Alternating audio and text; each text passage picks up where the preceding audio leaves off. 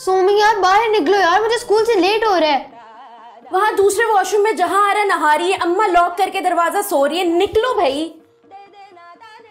निकलो तुम ना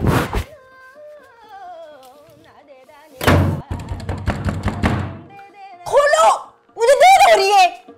बिज़ी कुत्ती। अम्मी को बताऊँगी तुम कितनी गालियाँ देती हो।